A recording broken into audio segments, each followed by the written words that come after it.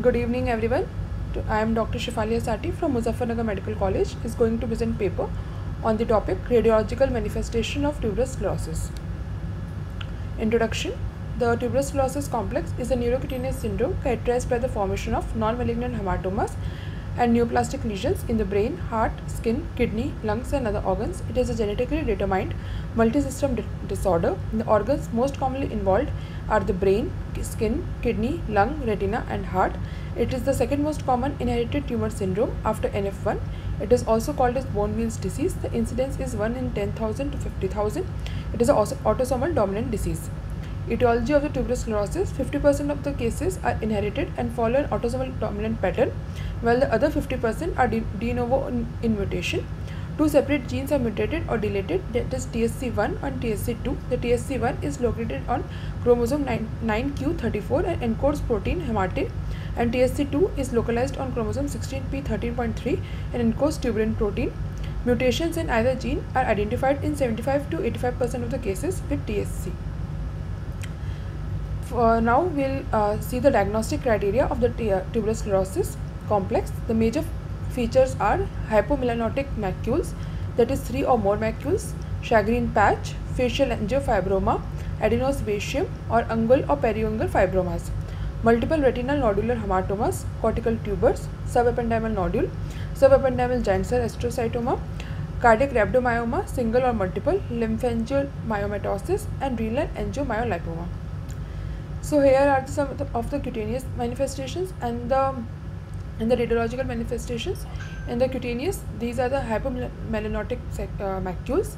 These are the shagreen patch on the lumbar region. These are the facial angiofibroma. These are the Koenen tumors in the periphery. This is here it is shown in the fingers.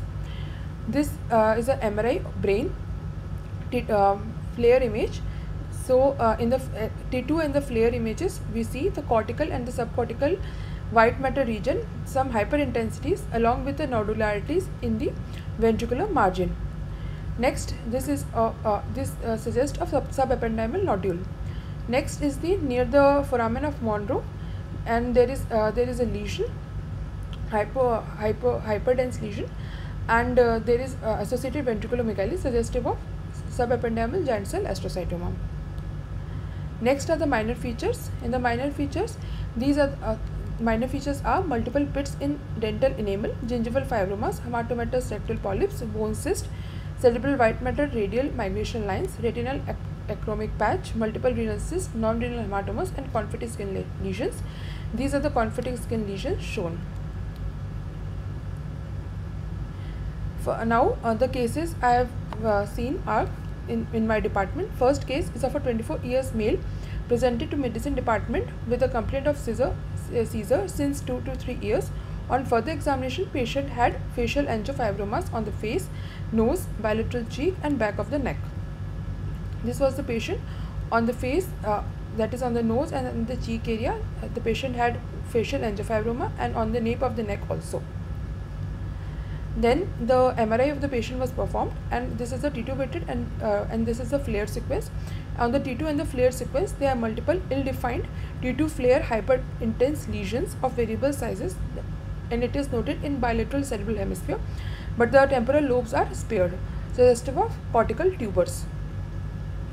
In the same patient, um, in the ventricular margin also there was nodularity was seen that is multiple tiny nodules along the bilateral lateral ventricles and posterior horn of right lateral ventricle likely suggestive of subependymal nodules. The second case witnessed was of a 20 years male came with a complaint of pain in the lumbar region. On examination, the patient had papules on her nails. This, these are the uh, fibro, sub, uh, fibromas that is Koenen tumors in his nails. Then this um, the patient came for the uh, complaint of lumbar pain in lumbar region so the uh, ct abdomen was performed. This is a plain scan. In the plain scan we see, can see the nodular soft tissue lesions in bilateral kidneys that this is the left this is the right and uh, these, these were multiple. On further the contrast study was performed and in the arterial phase we see a heterodense lesion in the right kidney and similar uh, lesions were seen in the left kidney. That is bilateral kidney was involved The same lesion was seen in the venous phase, that, that, that is multiple mod, uh, moderately defined heterogeneously enhancing nodular soft tissue lesions with uh, fat tissue attenuation areas within is seen. Some of the lesions were uh, also exophytic like this. So uh, now the next case is case 3 of a 14 year female with uh, came with a complaint of scalp swelling. In the past history the patient had one episode of seizure in childhood and the family history that is uh, she had two uh, siblings but they were normal. The patient came with a complaint of the uh, scalp swelling in the occipital region. The, facial, uh, the patient also had facial angiofibromas and there was a ash leaf macule in the uh, calf. The NCCT head was performed because uh, for the swelling. So in the NCCT head, we can see a oval shaped heterodense lesion in the scalp region in occipital region. Further, the MRI was performed. Uh, in the MRI, we can see a T2 irregular heterogeneous T2 hypointense lesion in the scalp region in the occipital region. This is a rare cutaneous manifestation of tuberous sclerosis and this is likely to be scalp fibroma. Next, the patient uh, further study uh, in the further study of the NCCT head. These are the multiple calcified nodules in the periventricular region and it is subependymal in distribution suggestive of subependymal nodules, a, radiological manifestation of tuberous sclerosis. These are the similar lesions, calcified nodules.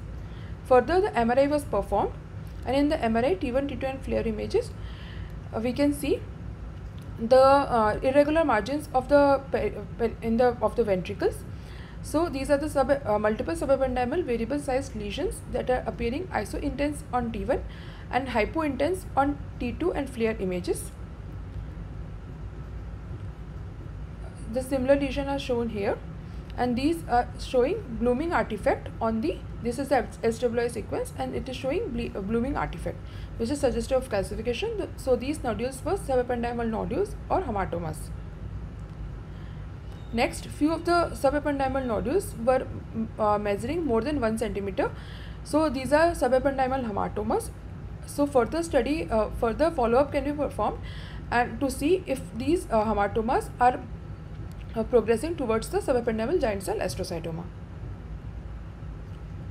Similar in the in the same patient, we uh, there was found that in the bilateral regions there were T2 FLAIR hyperintense radial bands extending from the posterior aspect of the lateral ventricle up to the cortex, likely the white matter heterotopia which is a feature of uh, tuberous sclerosis. So in my uh, study, we found that the subependymal nodules, subependymal, uh, subependymal giant cell astrocytoma can also be seen if it the subependymal nodules progress. Uh, the one of my patient had renal angiomyolipoma so in the subependymal nodules, the tubules represent cortical glioneuronal hamartomas and consist of focal distribution in cellular organization and morphology, which is extending to the subcortical white matter. Calcification was seen in the tubers. The tubers are triangular shaped and with the apex uh, oriented inward towards the ventricle. The subependymal giant cell astrocytoma arise from the subependymal nodules present in the ventricular wall in the patient with tuberous sclerosis, which was multilobulated, and the epidermal lining over the subependymal giant cell astrocytoma was intact, making the CSF seeding very highly unlikely. The renal angiomyolipoma is the most common uh, fat-containing lesions in the kidney. It involves the cortex and the uh, and uh, there was macroscopic fat. In tuberous sclerosis, the lesions are larger than isolated AML and uh, the characteristic is the multiple bilateral involvement in the tuberous sclerosis. Thank you.